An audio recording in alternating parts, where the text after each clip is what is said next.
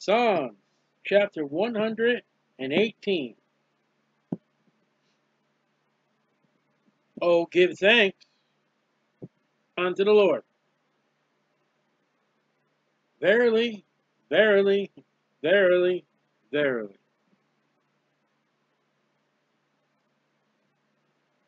Not the first responders.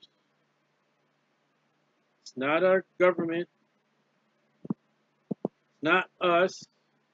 Not my church.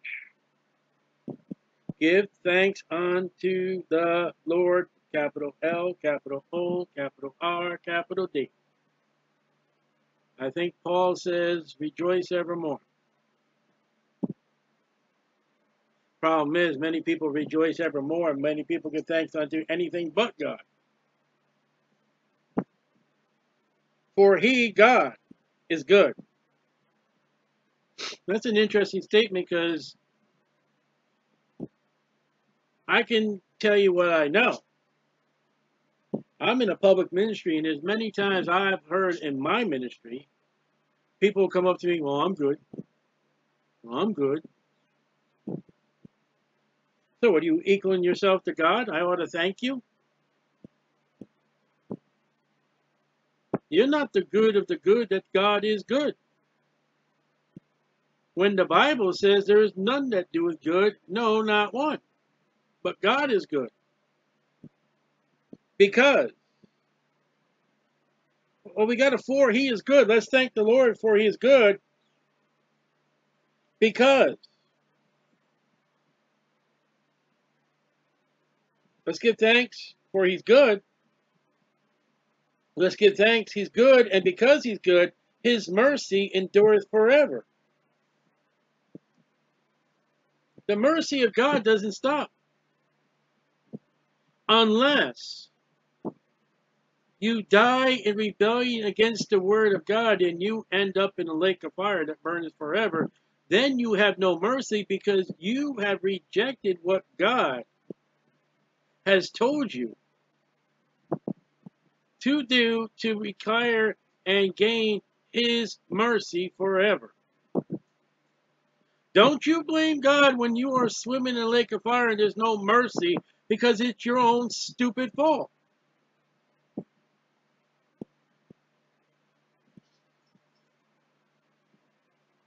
Let Israel, that's the nation, now say that his mercy endureth forever. It'd be nice if they did say that. As a nation, they're not. Let the house of Aaron, there's the priest, now say, now, that his mercy endured forever. They don't even know who the house of Aaron is right now, today. Now, when the psalmist wrote, but when Jesus Christ comes back and settles up New uh, Jerusalem and Israel and puts the Jews in their promised land, you better believe the house of Israel will say his mercy endureth forever. You better believe the priest will say his mercy endureth forever. Why? Because they are in the promised land and all the enemies of the Jews have been put down.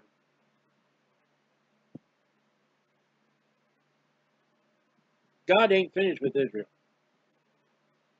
Let them now that fear the Lord say that his mercy endureth forever. You fear the Lord? That verse can go down in the church age. God's mercy endures forever. You're going to heaven by God's mercy. You got that job because of God's mercy. Your family is well and healthy because of God's mercy. All right, your family's sickly and, and, and has bad health. It could be worse. God's mercy endures forever.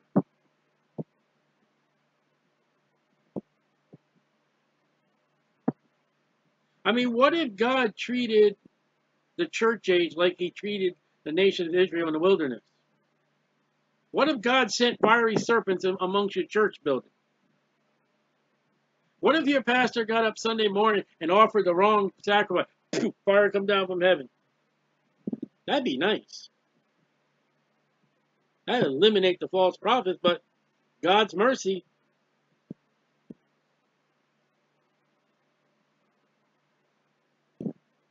I New paragraph. I called upon the Lord in distress.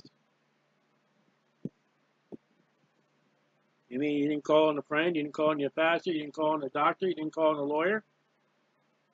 I called on the Lord. There's nothing wrong with going to a doctor. There's no wrong with a lawyer. Did you go to God first? Remember the first commandment? God first? That goes with troubles and problems. The Lord answered me and set me in a large place. God answered. God took care of it. Now, these aren't just words. This is the psalmist saying, hey, listen, I was in trouble. What'd you do? I called on the Lord. What happened? God answered me. And he put me in a wide open space. The Lord is on my side. I will not fear. I've got God. Coronavirus. Got a mask? Got nope. I got God. The riots and all that. You, I got God.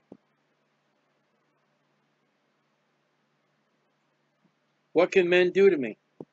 Well, they can kill you. And if you're saved, absent from the body, present with the Lord, you can lose all your possessions. And yet, how many Christians have lost their possessions? What possessions did, did the Apostle Paul have? He told one, he said, just bring some parchments and some books, I think it was. Paul, in the end of the book of Romans, had his own higher house. He didn't have a house, he rented a house. Man, a lot of pastors are doing a lot better than what Paul had.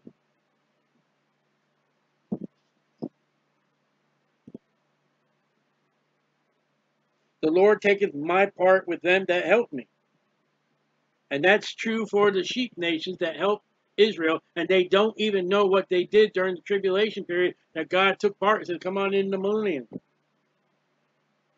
Lord, what do you mean we helped them? What, do you mean we went to prison to visit? What do you mean we, we took care of you?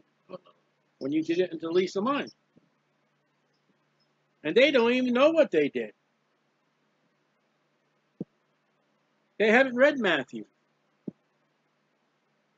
And one of the prophets say there's coming a time, there's coming a famine of the word of God in the Bible. Keep on raising the kids in the school system without the Bible, without God. And that time's coming up very quick.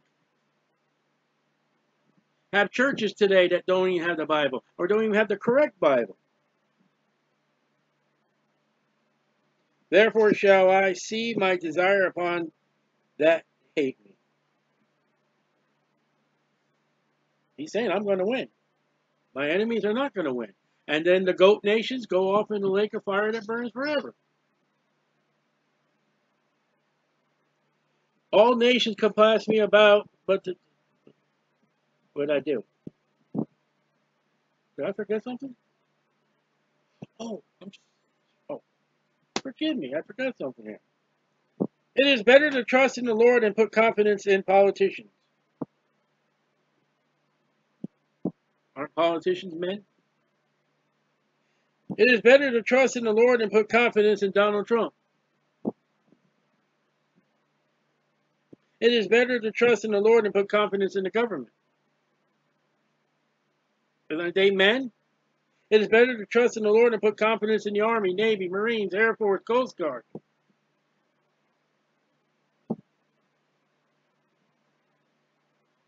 That's man. I'm not misquoting the scripture. All right, maybe women, but mankind. Is not that what you trust is man and not God? America will prove by this man. We put this man in the White House. What happened to God?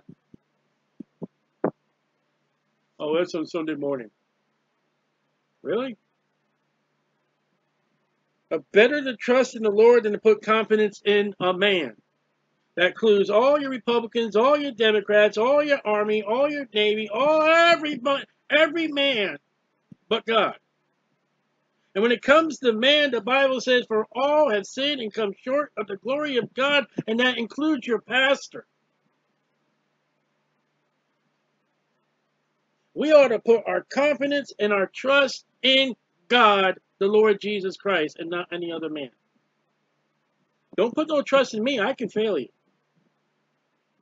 I can be deceived.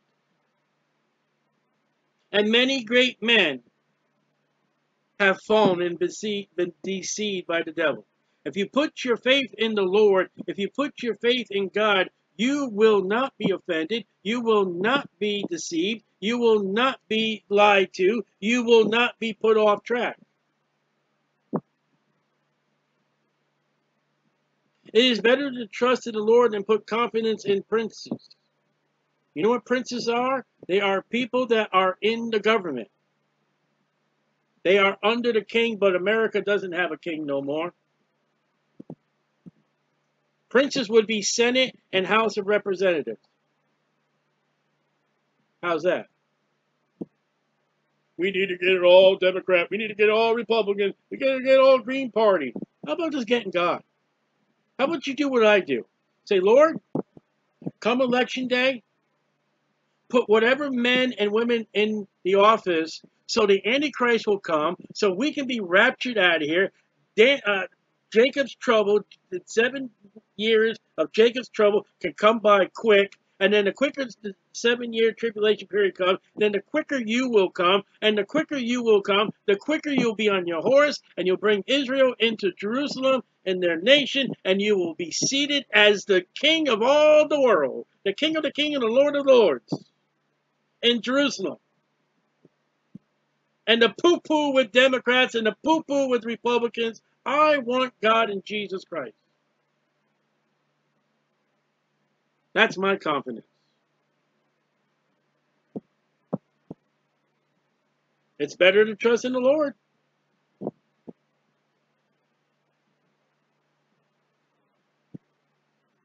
All nations, oh boy, here we go, compass me about. There's the United Nations. All nations, plural. There is the assembly of the United Nations found in New York City. All nations compass me about, but the name of the Lord will I destroy them. That's second advent. The United Nations will be brought down by Jesus Christ. You know what the United Nations will do? I will give you prophecy. I heard a guy one time, oh, there's no prophets in the church age. I'm going to give you a prophecy. The United Nations will turn against the nation of Israel in the time of Jacob's trouble, God will call them goat nations, and Jesus Christ will come and cast them off into hell.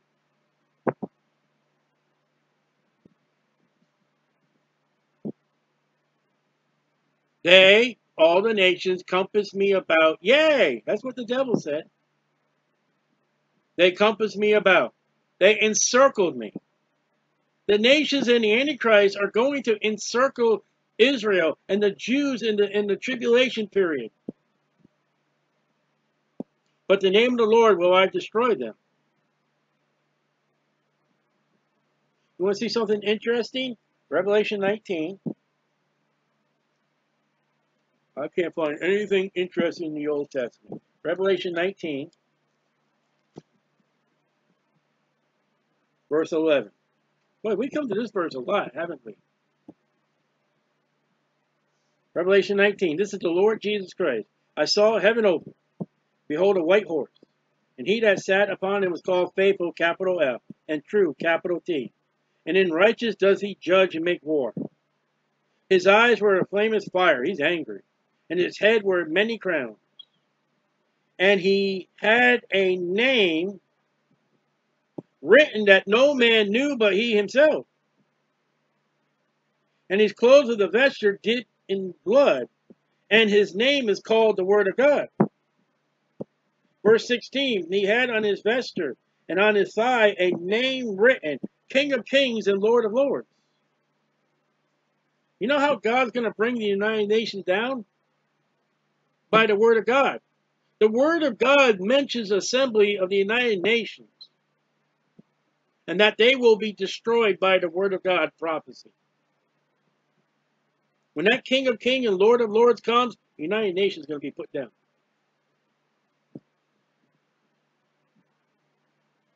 That's interesting.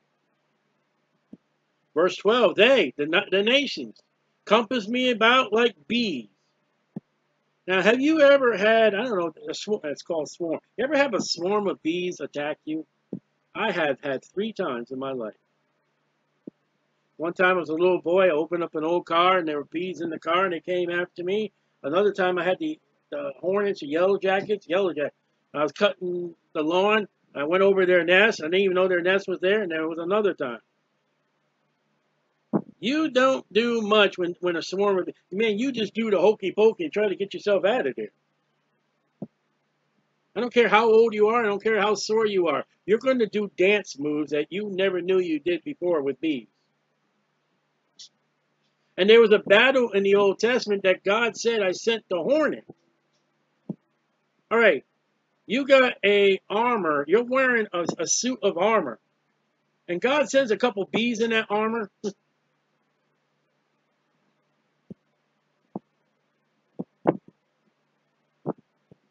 But he's not talking about sending bees. He said like bees, a whole bunch of them. They are quenched as the fire of thorns. The, the, the nation.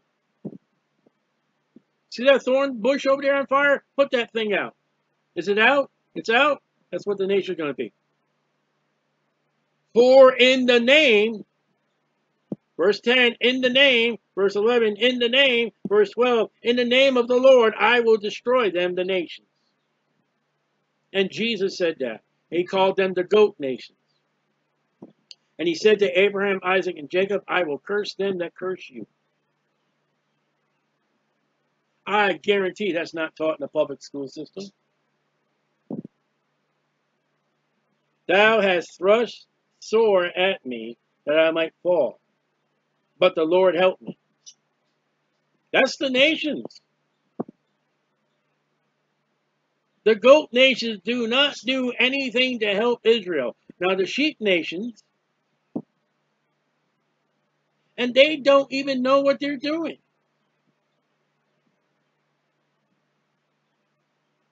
I feel like one day you're working at work and you got this coworker and, and you're just getting a well fine, everything's well, and you know your best buddies. You sit down at lunch and you know you sell. I mean, you you you share your lunch and all that, and then you just find out. You know what?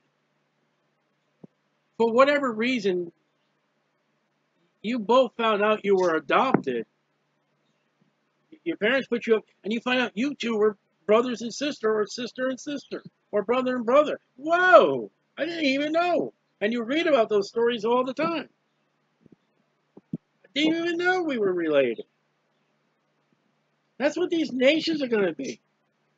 When did we help you, Jesus?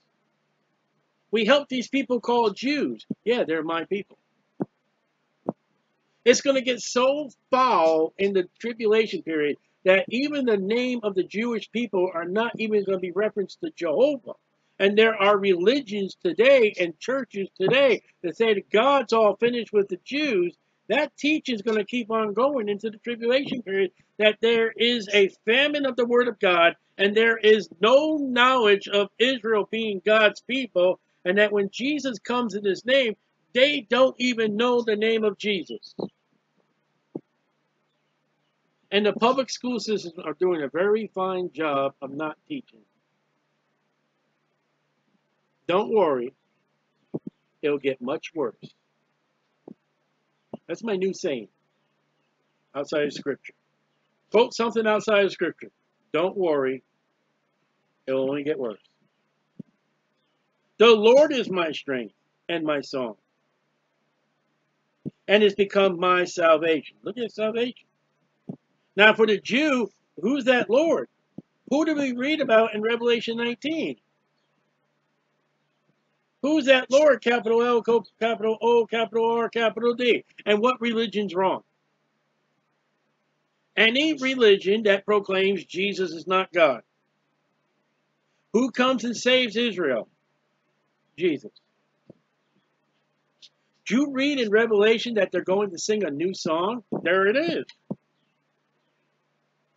They're going to sing the song of Moses, and they're going to sing the new song. No Christian can sing that song. That's like the angels who can't get saved. When Jesus comes for the Jewish people, it is going to bring joy and celebration. You think Hosanna and, and cutting down palm trees and casting it before that ass that Jesus came on. You wait till Jesus comes on a horse.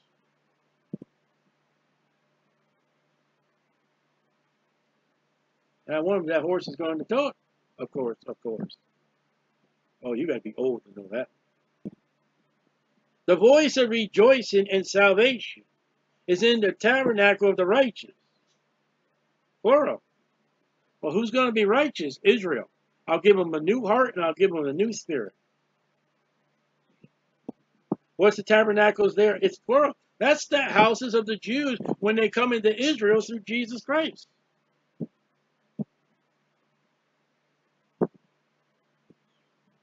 The right hand of the Lord. Who is that? Who is seated at the right hand of the Lord today? Does valiantly. That's courageous, brave.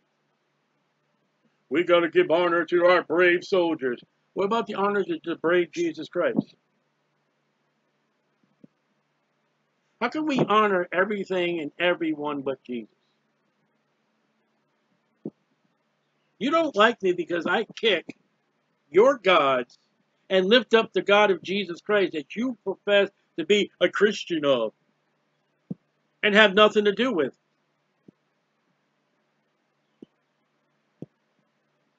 Too much Jesus, not enough Jesus. Can't be not enough Jesus. That's why I sin. That's why I got, if I confess my sin. You know why I have, you know why I sin? I got to confess my sin? Because I don't have enough Jesus in my life. You know why you're miserably sinning in your life? You ain't got Jesus at all. Very tiny little bit of Jesus.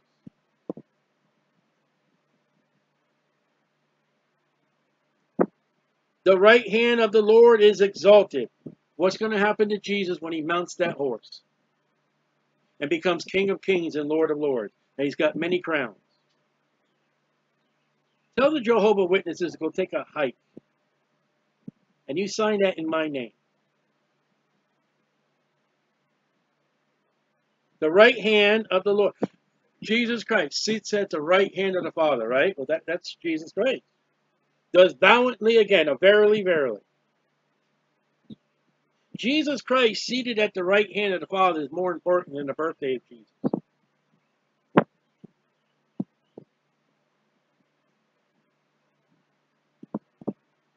I shall not die, but live and declare the works of the Lord. Now he's talking about life on this earth. Because I shall not die, I'm going to declare the works of the Lord while I'm living. Man, while he, I'm going to go tell about Jesus. I'm going to go, listen, when we die and go to glory, we're singing about Jesus. We're praising about the Lord. The day I die is the day I'm not going to go in all the world and preach the gospel. I'll be singing holy, holy, holy, and hallelujah, and all whatever we sing to Jesus. Now, the Lord woke me up today. And the Lord waking me up today, I did not die, I'm living. I declared the works of the Lord. We had a, we had our Bible study in the park, and I declared the works of the Lord. If I'm to wake up tomorrow morning, I don't know, but if I wake up tomorrow morning, I hope, well, tomorrow morning is the farmer's market. I hope to go and lift up the works of the Lord. Monday mornings are, are a dead morning to me. If I wake up in the morning on Monday morning, get up, I don't go anywhere. I hope through the internet, I hope through YouTube, I hope through, I can lift up the Lord. I lift up the Lord even if I don't go anywhere with my Facebook and the internet. I know many Christians who have Facebook and they lift up other things besides Jesus. I exalt Jesus with everything I got, I hope. The Lord has chastened me sore. Ow. That's not the God of the modern. You can't spank your children.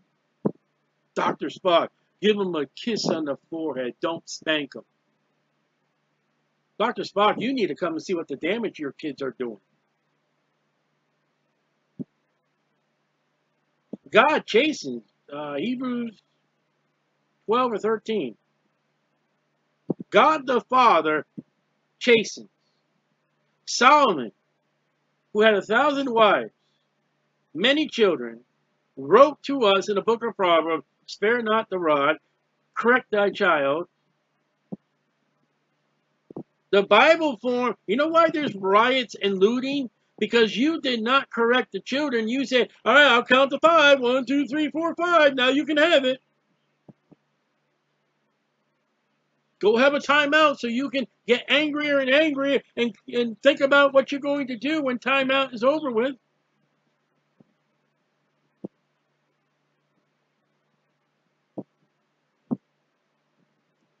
God chasing. And in Hebrew says he chastens because he loves them. Proverbs says you don't love your child if you don't chasten them.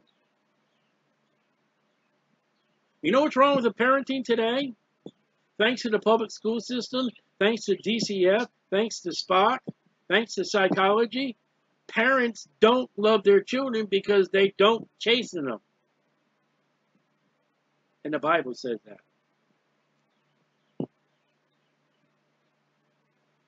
But he has not given me over to death. His chasing didn't kill you. Made you sore. Made you made you think. But death can come by you're not listening to chastening. Judah, in the time of, of Jeremiah, they just got, you know, he told Jeremiah, don't even pray for him. Babylon's coming. Try to warn them, but I know they're not going to listen. Open to me the gates of righteousness. I will go into them, and I will praise the Lord. Amen. This gate of the Lord, in which the righteous shall enter. The righteousness gate. And there's a gate in Jerusalem waiting for the Lord Jesus Christ to come through.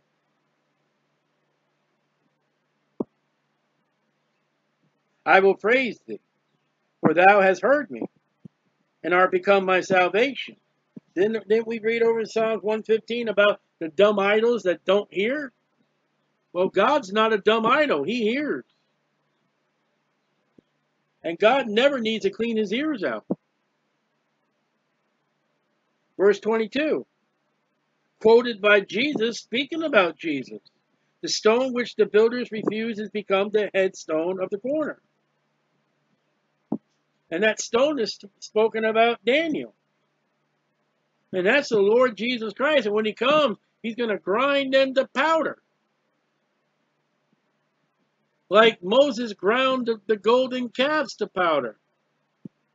And there was another king in Judah. He grind the works of, of all the works of powder. Have you destroyed your gods? The powder? This is the Lord's doing. It is marvelous in our eyes. What's the Lord's doing? The second advent. Man, all the signs and wonders and healings that Jesus done on the first advent.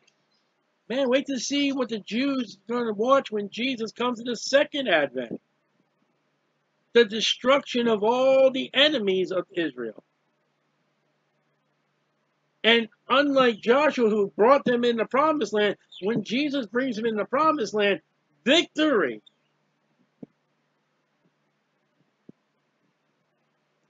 This is the day which the Lord has made. We will rejoice and be glad in it, except for Mondays.